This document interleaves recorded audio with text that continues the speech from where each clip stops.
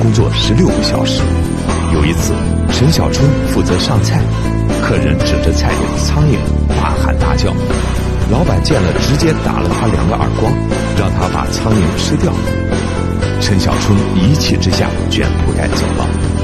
又再一次流浪在香港街头，几经辗转后，在湾仔一家蓝房理发店打零工，一干就是两年。